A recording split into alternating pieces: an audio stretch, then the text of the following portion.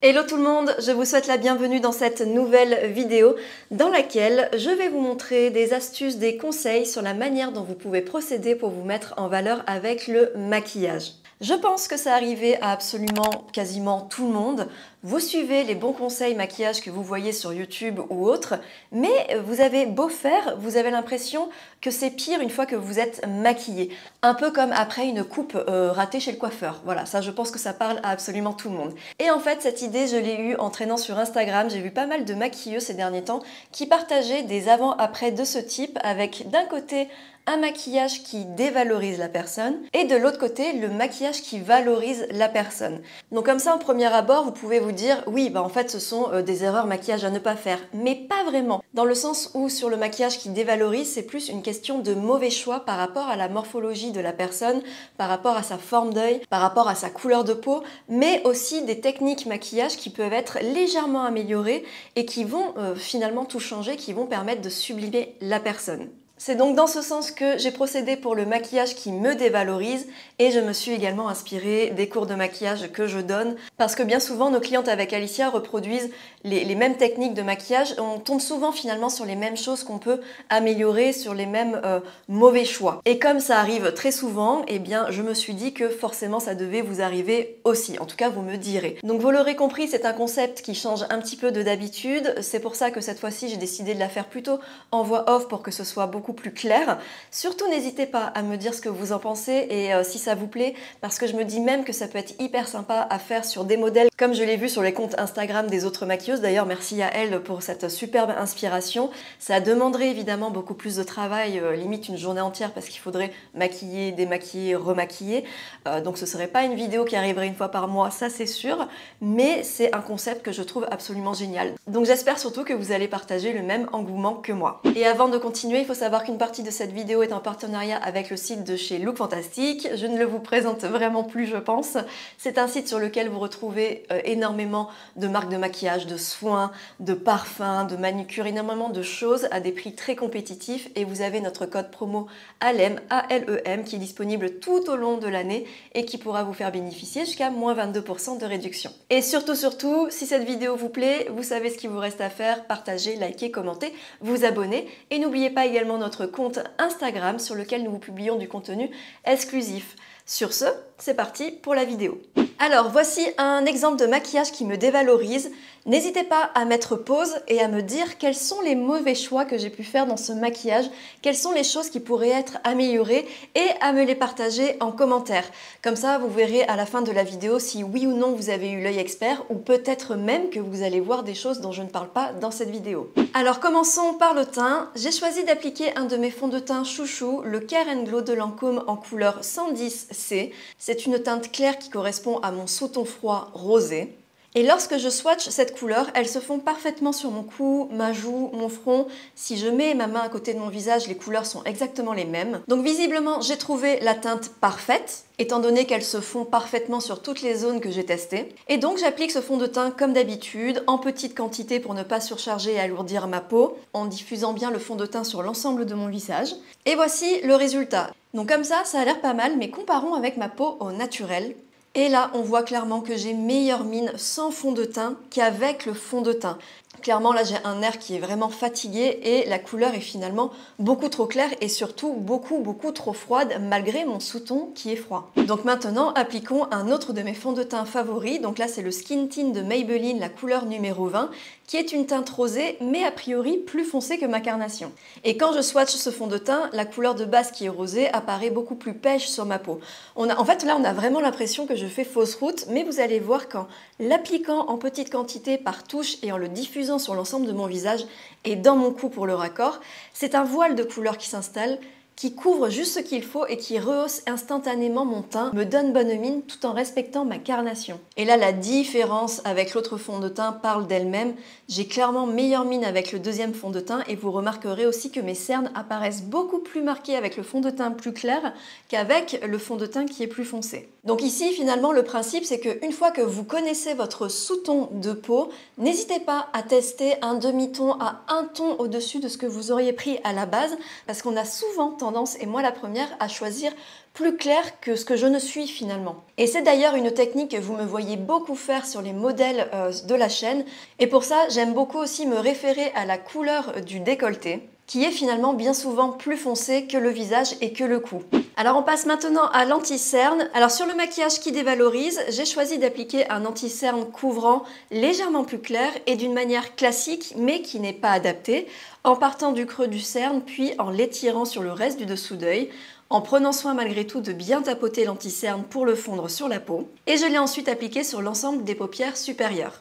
Et voici le résultat qui n'est pas trop mal, mes cernes sont camouflées. Ceci dit, on sent quand même que mes ridules sont légèrement marquées étant donné que j'ai appliqué l'anti-cerne sur l'ensemble du dessous d'œil. Donc là, euh, ce qu'on peut constater pour le moment, c'est que mon teint est parfaitement unifié, voire trop unifié. C'est-à-dire que l'ensemble est plat et ça manque cruellement de relief. Donc pour éviter d'avoir le dessous d'œil marqué, ce que j'aime beaucoup faire, c'est appliquer un correcteur en amont. Donc ici, c'est un correcteur saumon. Et donc ce correcteur saumon, il va permettre de neutraliser et éliminer l'ensemble des zones sombres de mon cerne. J'applique vraiment très très peu de matière et je prends le temps de tapoter pour fondre le tout. Là, vous pouvez déjà constater la différence entre les deux. La couleur du cerne commence déjà à être corrigée et on pourrait tout à fait s'arrêter là. Mais comme on veut du relief et de la lumière, j'ai choisi d'appliquer le concealer Me de NYX. C'est la couleur Light qui est un ton plus clair que mon teint. Donc je l'applique par touche dans le creux du cerne, sur l'extérieur de l'œil en remontant pour un effet liftant et sur le creux de ma paupière supérieure. Et pour plus de relief sur le visage, je continue de l'appliquer sur le nasogénien, le haut de la pommette, la commissure de la bouche, la tempe. Et en fait, tous ces points de lumière vont permettre d'apporter du relief au teint et d'illuminer les zones sombres de mon visage. Et une fois que c'est fait, je tapote délicatement au doigt pour bien fondre l'anti-cerne sur la peau. Le Bar With est vraiment super parce qu'il est hyper modulable, hyper hydratant, hyper confortable. Et finalement, avec moins de matière, j'ai beaucoup plus de résultats au niveau du cerne. Euh, le dessous d'œil est beaucoup beaucoup moins marqué et il est aussi plus travaillé. Il paraît beaucoup plus rebondi. Et au niveau du teint dans son ensemble, on voit que le premier est beaucoup moins lumineux, il est beaucoup plus plat. Ah, finalement, apporter des points de lumière sur le teint, c'est clairement ce qui pourra upgrader votre maquillage et vous mettre en valeur. Et en plus, là, ça fonctionne hyper bien étant donné que le fond de teint est légèrement plus foncé que ma peau. Euh, finalement, le fond de teint a donné bonne mine et l'anti-cerne est venu apporter un peu plus de contraste, mais tout en subtilité. On passe maintenant à l'étape du bronzer. Alors déjà, parlons couleur. En général, lorsqu'on utilise un bronzer, c'est surtout pour se donner bonne mine, pour rehausser le teint. Et c'est donc en toute logique qu'on va se tourner vers des couleurs qui sont chaudes, euh, qui, qui, tirent vers le orangé, des marrons dorés pour donner ce côté solaire. Bon, sur moi, comme vous le voyez, c'est une catastrophe étant donné que j'ai un sous-ton de peau qui est froid. Ça contraste énormément, ce n'est pas subtil, ce n'est pas logique. On sent tout de suite qu'il y a quelque chose qui ne va pas, qui ne me correspond pas et qui ne me met pas du tout en valeur. Par contre, la couleur que vous voyez sur le maquillage qui dévalorise ou des couleurs chaudes de ce type seront vraiment parfaites si vous avez un sous-ton de peau chaud et ça peut également fonctionner si vous avez un sous-ton de peau neutre. Il faudra juste essayer d'avoir la main un peu plus légère pour ne pas trop contraster avec votre teint. Et les couleurs qui fonctionnent dans mon cas, donc pour les sous-tons froids, ressemblent plus à ça. La première, c'est un bronzer neutre mais avec une toute petite pointe de chaud, ce qui permettra de donner un petit côté solaire mais tout en subtilité. Et c'est aussi une couleur qui est vraiment parfaite si vous avez un sous-ton de peau neutre. Et bien évidemment, le type de couleurs qui se font le mieux pour les sous-tons froids, ce sont les marrons froids comme euh, la couleur Umber de la crème bronzante de Fenty, ou encore la couleur Sotope du Sweet Chicks Matte de NYX. Si vous avez un sous-ton froid, tonalité claire, avec ce type de couleur, vous avez vraiment un rendu qui est très subtil, on va dire même imperceptible parce que ça va venir recréer des ombres hyper naturelles sur le visage. Ensuite, au niveau de la technique, quand vous partez dans l'optique de vous donner bonne mine avec un produit bronzant, bien souvent, on va vouloir utiliser un gros pinceau avec la poudre bronzante et le passer sur l'ensemble du visage, donc sur le haut du front, un peu le creux de la joue, le maxillaire et également sur le nez, etc. Vraiment, voilà, pour rehausser le teint, pour donner ce côté solaire, retour de vacances. Sauf que vous vous en doutez, ça ne fonctionne pas sur tout le monde, surtout si vous avez une peau claire, si vous avez un sous-ton froid, voire même un sous-ton neutre si vous avez un petit visage. Ça risque vraiment d'écraser le visage et euh, du coup de donner un air fatigué et encore une fois de ne pas vous mettre en valeur. Donc dans ces cas-là, ce que je vous conseille de faire, c'est de prendre un pinceau euh, plus petit, voire même un pinceau blush Et ce pinceau permettra d'être beaucoup plus précis au niveau de l'application, donc sur le haut du front, légèrement au niveau du creux de la joue si vous désirez faire ressortir cette partie-là, et au niveau du maxillaire si vous voulez également redéfinir l'ovale. Et là, on voit bien la différence sur le maquillage qui dévalorise. Mon visage apparaît beaucoup plus petit, beaucoup plus écrasé, tandis que sur le maquillage qui valorise, on sent beaucoup plus les points de lumière sur mon visage qui ressortent. Ce qui donne aussi une peau beaucoup plus rebondie, plus lumineuse. Passons maintenant au maquillage des sourcils. Donc sur le maquillage qui dévalorise, j'ai choisi d'utiliser le Micro Brow Pencil de NYX couleur Chocolate.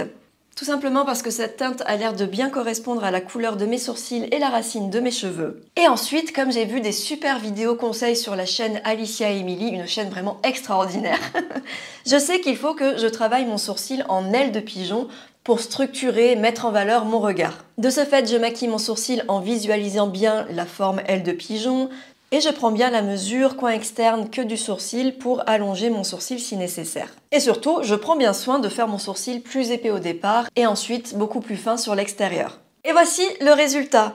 Bon écoutez, c'est pas mal, mais je m'attendais quand même à un résultat plus naturel ou du moins plus subtil c'est quand même pas mal contrasté. Et je tiens à préciser que cette forme de sourcil, je me la faisais vraiment il y a quelques années en arrière.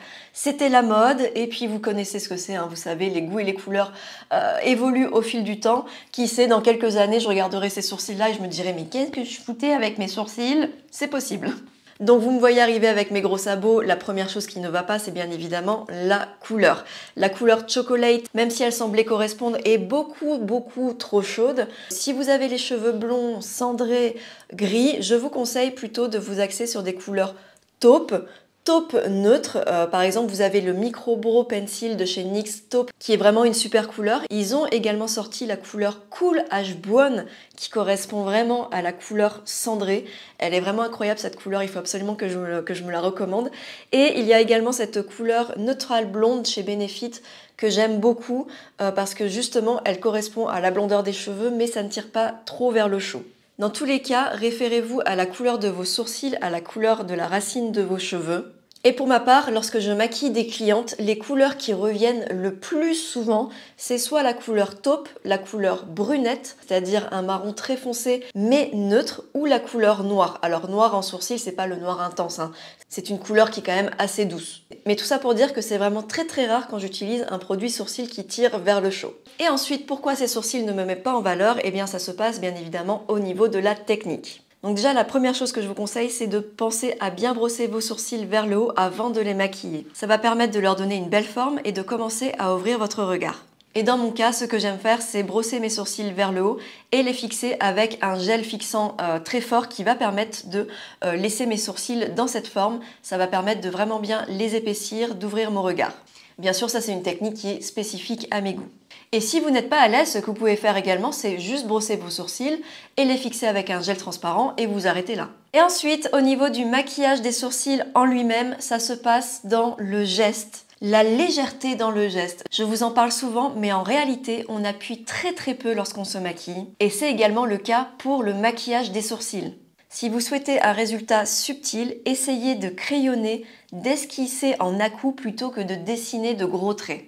Ensuite, pensez bien à brosser vos sourcils le plus souvent possible quand vous les maquillez. Ça va permettre de bien fondre la couleur et de donner un résultat subtil et naturel. Et ensuite, vouloir respecter les mesures du sourcil, aile du nez, coin interne de l'œil, tête du sourcil, aile du nez, coin externe de l'œil, queue du sourcil. C'est génial, mais attention à la queue du sourcil.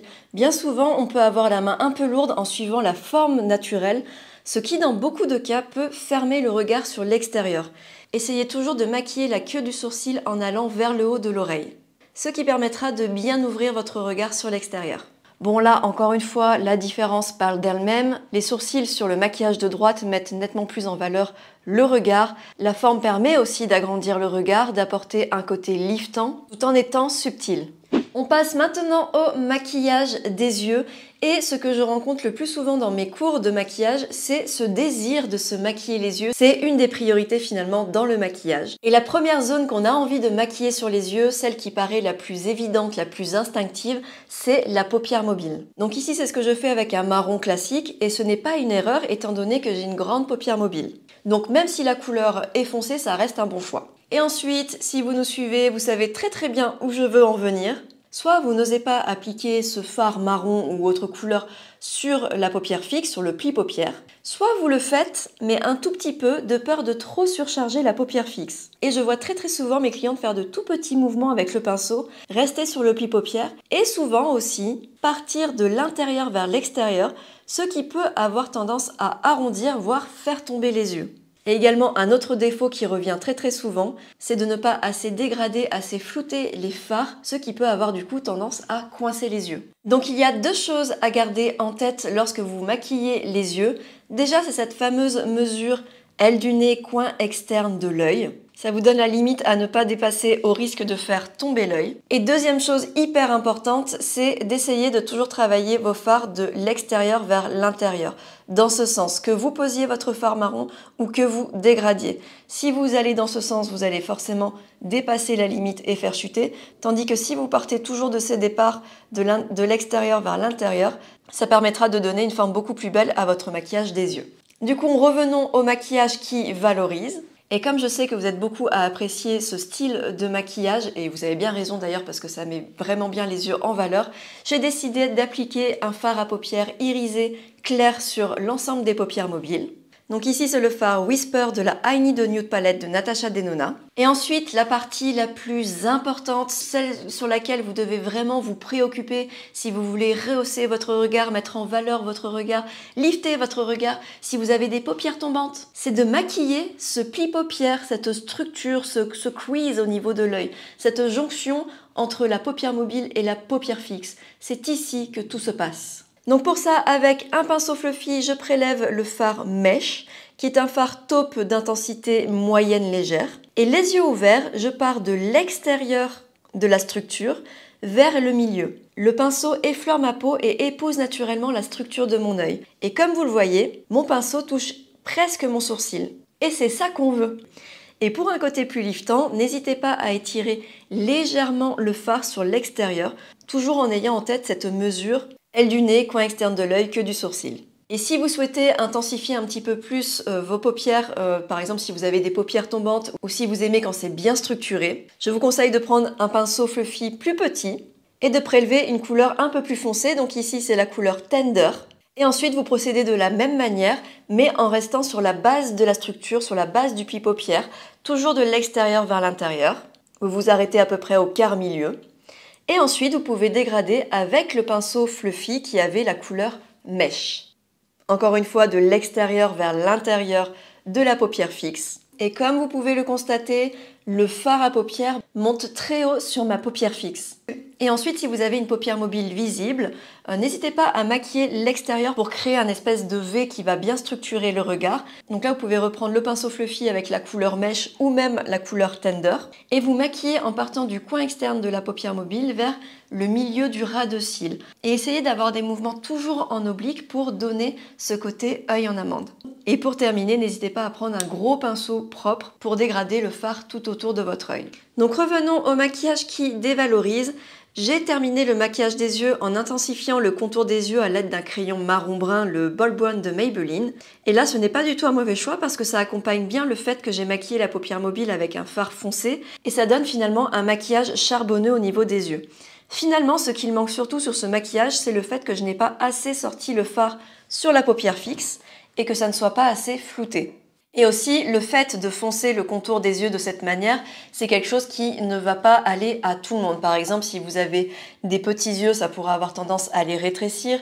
Si vous avez des yeux rapprochés, ça risquera de donner un effet encore plus rapproché. Donc du coup, vous vous en doutez, je vais vous montrer une autre manière d'intensifier votre regard qui est beaucoup plus universel et qui pourra mettre en valeur vos yeux. Donc toujours avec ce même crayon waterproof marron brun, je vous conseille de commencer sur l'extérieur du ras de cils en faisant un trait légèrement épais, puis tracer ce trait de plus en plus fin jusqu'au milieu du ras de cils. Donc en fait, grossièrement, ça donne ça. Vous voyez, le trait est beaucoup plus épais sur l'extérieur et plus on va vers l'intérieur, plus il s'affine. Et ensuite, avec un petit pinceau, je dégrade ce crayon en passant tout simplement dessus de l'extérieur vers le milieu, puis de l'extérieur vers la paupière mobile. En fait, j'entraîne la couleur du crayon vers le phare irisé de la paupière mobile. Et pour terminer, suivant la taille de votre paupière mobile et de vos goûts, euh, n'hésitez pas aussi à allonger le crayon pour les yeux en finesse jusqu'au coin interne du ratil supérieur.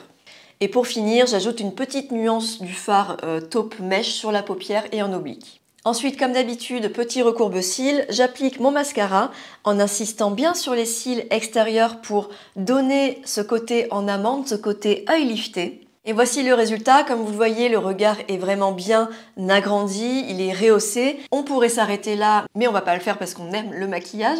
Donc je vais bien évidemment euh, compléter ce maquillage en maquillant le ras de cils inférieur toujours avec le même crayon et exactement de la même manière que pour le ras de cils supérieur, c'est-à-dire de l'extérieur vers le milieu avec un trait légèrement plus épais sur l'extérieur et plus fin quand vous dégradez. En fait, le tout, c'est encore une fois d'éviter d'entourer l'œil avec le crayon au risque d'alourdir le regard. Et ensuite, j'applique un crayon beige de chez MAC au niveau de la muqueuse des yeux pour contraster et agrandir. Donc bien évidemment, la différence parle d'elle-même. Euh, du côté du maquillage euh, qui met en valeur, le maquillage des yeux est beaucoup plus lumineux et beaucoup plus subtil. Il permet aussi de bien agrandir le regard, de le rehausser. Et c'est surtout une forme d'œil qui est hyper intéressante parce qu'elle est universelle et qu'elle convient à quasiment toutes les formes d'œil. Spécifiquement si vous avez des petits yeux, des paupières tombantes ou des paupières creuses comme les miennes. Passons maintenant à l'étape du blush. Alors pour le blush, on a bien conscience que celui-ci est là pour nous donner bonne mine et pareil, instinctivement, on a tendance à vouloir l'appliquer au niveau des joues parce que c'est là où ça va donner un côté naturel, retour d'un séjour à la campagne. Vous voyez un petit peu le truc. Et c'est d'ailleurs ce qu'on appelle le blush bonne mine. Or, comme vous le constatez, sur mon visage, ça ne convient pas vraiment parce que ça vient alourdir mes joues. Et en plus, ayant un petit visage, si je mets trop de choses sur le centre, ça va venir encore plus le diminuer, encore plus l'écraser. Donc pour ma part, ce que je préfère faire, c'est l'appliquer sur le haut de mes pommettes, dans la même direction finalement que le contouring bronzer qu'on a appliqué au niveau du creux des joues. Et d'ailleurs, je vous avais fait une vidéo sur les différentes formes de blush suivant les formes de visage. Donc surtout, n'hésitez pas à aller la checker parce qu'elle est assez complète à ce niveau-là et je pense qu'elle pourra bien vous aider. Et voilà la différence entre les deux formes de blush. Donc d'un côté, on sent bien que le blush a tendance à écraser mon visage, tandis que de l'autre côté, on a bien gardé le point de lumière au centre de mon visage mais on a malgré tout euh, ce côté bonne mine avec le blush parce qu'il est posé sur l'extérieur et il permet également de compléter l'effet un peu liftant du maquillage. Et maintenant passons à la dernière étape qui est le maquillage de la bouche. Donc pour la bouche sur le côté qui dévalorise, j'ai appliqué un rouge à lèvres que j'adore pour sa tenue le Superstay Matte Ink de chez Maybelline. Et là, j'ai tout simplement appliqué ce rouge à lèvres en suivant la forme de ma bouche. Donc pas d'erreur à ce niveau-là, mais ma bouche n'est pas mise en valeur parce que ma lèvre supérieure est beaucoup plus fine que ma lèvre inférieure. Donc maquiller ma bouche de cette manière sans apporter de correction, c'est aussi marquer encore plus cette asymétrie. Donc si vous aussi euh, vous avez une bouche qui n'est pas bien équilibrée, une asymétrie ou un contour des lèvres qui n'est pas très défini, je vous conseille évidemment d'utiliser un crayon à lèvres bien taillé pour redessiner le contour. Ma lèvre inférieure n'a pas besoin de correction spécifique, donc je crayonne en suivant tout simplement le contour naturel. Et au niveau de la lèvre supérieure, je dessine le cœur légèrement plus haut. Puis avec le crayon, je pars de la commissure au cœur pour repulper la bouche. Je finis en colorant la bouche avec le crayon et ensuite j'applique un petit baume coloré de chez Nude Sticks pour rehausser le tout. Et encore une fois, la différence entre les deux parle d'elle-même. Bon, déjà au niveau de la couleur, euh, la couleur rosée donne beaucoup plus de fraîcheur, tandis que la couleur nude sur le maquillage qui dévalorise a vraiment tendance à donner mauvaise mine, à écraser. Mais c'est néanmoins une couleur qui est possible si on lui ajoute un petit gloss par exemple. Mais surtout, surtout, la grosse différence se passe au niveau de la correction de la bouche. Sur le maquillage qui valorise, on voit que ma lèvre supérieure est repulpée, mais d'une manière qui est naturelle. Et le fait de repulper un petit peu les lèvres de cette manière, ça donne aussi un effet un petit peu, avec des grosses guillemets, hein, rajeunissant. Parce que plus on vieillit, plus nos lèvres vont s'affiner. Et forcément, si on vient faire l'inverse avec le maquillage, ça va permettre de donner un, un côté un petit peu défatigué. Ça me donnerait presque envie de me faire des petites injections, dis donc. Vous avez maintenant la différence entre les deux maquillages dans leur totalité. Et j'espère que vous avez vraiment perçu que je ne parlais vraiment pas d'erreur de maquillage mais plus de mauvais choix, de choses à améliorer par rapport à la morphologie, etc. En tout cas, sachez que dans cette vidéo, j'ai coupé beaucoup beaucoup de choses que j'avais envie de dire, mais sinon elle aurait été beaucoup trop longue. Et j'ai pris conscience qu'il y avait énormément de thèmes qu'on n'avait pas encore abordés, qui méritaient d'être encore plus creusés. Ça a permis de me remettre finalement les idées au clair par rapport à plein de thématiques à développer sur cette chaîne. Et pour ma part, et malgré mes 17 années d'expérience, je suis toujours fascinée par le pouvoir du maquillage à quel point on peut transformer une personne. Je trouve ça hyper passionnant et ludique et je ne me lasserai jamais de tout ce que peut offrir le maquillage en termes de possibilités. Et voilà, cette vidéo est à présent terminée. Surtout, n'hésitez pas à me dire ce que vous en avez pensé et n'hésitez pas aussi à me dire euh, si vous vous êtes retrouvé dans les mauvais choix que je vous ai présentés ou les techniques à améliorer. Je suis vraiment curieuse d'avoir votre ressenti par rapport à cette vidéo. En tout cas, moi, vous l'aurez compris, ça m'a beaucoup emballé. Euh, donc, euh, j'espère que ce sera aussi le cas pour vous. N'oubliez pas notre superbe code promo ALEM, A-L-E-M sur le site de Look Fantastic qui est valable tout au long de l'année. Donc, si vous voulez vous faire plaisir ou faire un réassort, tester des produits, surtout n'hésitez pas à l'utiliser. Et sur ce, écoutez, merci d'avoir passé ce moment en ma compagnie. J'espère qu'il aura été agréable et qu'il vous aura été également utile. Je vous embrasse et je vous dis à très bientôt. Ciao